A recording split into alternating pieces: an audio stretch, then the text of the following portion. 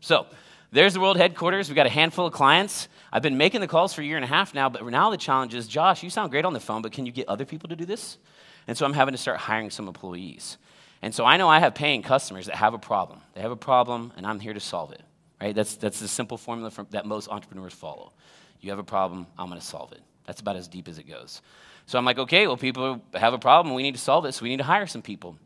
So I put out a job ad on Texas A&M's career website, and it's something probably pretty ambiguous, like part-time real estate assistant, or something that doesn't really sound like you're going to get beat up on the phone all day long, right? So we lure in these candidates, and we do the interview. We DISC profile them, we phone interviewed them, we in-person interviewed them, and we said, you're going to be great at this. Day one starts tomorrow. So I remember one, one uh, young gentleman came in for his first training day, and McKinley was his trainer. So he shows up on the first day of training, like he had no idea what it was that we actually did, or what problem we solved, or what his actual job was going to look like. So he shows up, and McKinley jumps in. Okay, this is what we do, and these are the calls that we make.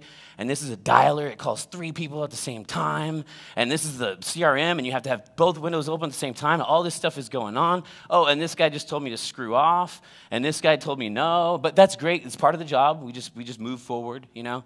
And I'm sure this guy's probably thinking, what in the heck did I get myself into? So about 45 minutes in the shift, he's like, uh, where, where's the restroom at? Can I go to the restroom? So he heads down the hall, heads to go take a quick restroom break. McKinley sits there patiently. Five minutes go by. 10 minutes go by. 15 minutes go by. She finally has to go find another male employee and say, hey, the guy I was training said he went to the bathroom, but that was like 15, 20 minutes ago. Can you go to the bathroom and see if he's still there, I guess? And sure enough, her suspicions were confirmed. The, the guy went to the bathroom, he was gone. Clocked in, never clocked out. 45 minutes of labor I owe somebody on planet Earth for, for coming and training with us for 45 minutes. So the problem was we were hiring the wrong people, right? We brought in people, we were sort of tricking them into doing this work that nobody else wants to do. That's how the company started. I figured, shoot, why not just keep it moving, you know? I got tricked into doing this work, I'll just trick some other people into doing the work as well. what was our real challenges, though? is our candidates did not have clear expectations for what was actually going to be required of them to do this work. And so we thought, well, this is a giant disaster. What can we do to improve this? So here is your culture tool. What we did, again, WizeHire did a great job of explaining all the steps of hiring, bringing in the right candidates, getting the right person for the right role. But what we did that was very important was we invited them to an observation. And so at the end of the interview, where we thought a candidate might be a great fit, we would basically say to them, hey, you know, uh, we feel like based upon your, uh, you know, phone interview and your interview today, we feel like you'd be a great candidate for what it is that we do here. However, the next step in our interview process is to invite you back for an observation. And what we're going to do is we're going to pair you up with one of our most senior reps on the floor, and you're going to be with them for an entire hour while they're working.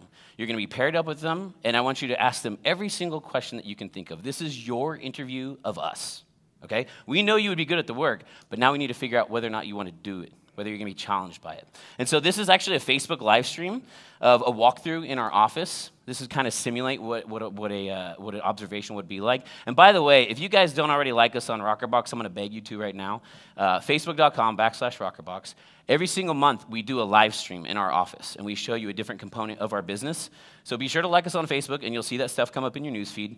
But this is essentially a walkthrough of our office. We would pair that candidate up with one of the senior reps. We would say, This is the problem that we solve. This is how we solve it. This is the technology we use. This is a dialer. This is Mojo. These are our scripts. These are our dialogues. These are our objection handlers. This is this person and this role of the company. This is what we do over here. This is what we do over there. And it was a very, very, very clear explanation of exactly what's going to be expected of this candidate. And so I encourage each and every one of you to implement an observation in your hiring process. Right? Why, basically, the, the, the tragedy and the heartache that I put McKinley through was not her fault.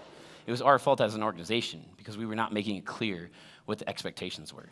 So if you guys want to run highly productive organizations and you're going to require a lot of productivity from your individuals, bring them in. Don't, don't lure them in and trick them into doing the work. Bring them in and show them exactly what it is that you do and then what we ask them to do at the end of the observation is to write us an email and say, write us an email and let us know how well you would be a culture fit within our organization. And at that point, we basically get these persuasive essays from these candidates saying, oh my gosh, I noticed this, I'm attracted to this, I'm challenged by that, this is going to help me do this, I'm going to help the company do that. It's basically them selling us now on why we're the right organizational fit for them. And the benefit is we also have a lot of people that come through observations and we never hear of them ever again. which is great because now we don't have to waste any time into the training.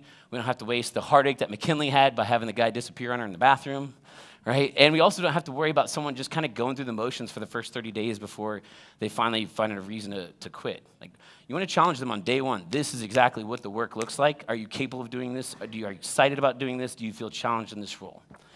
And so that's kind of an observation of what it would look like. Of course, it would be a full hour that we would have with that candidate. So, observation, write it down, make sure you're adding that to your hiring process.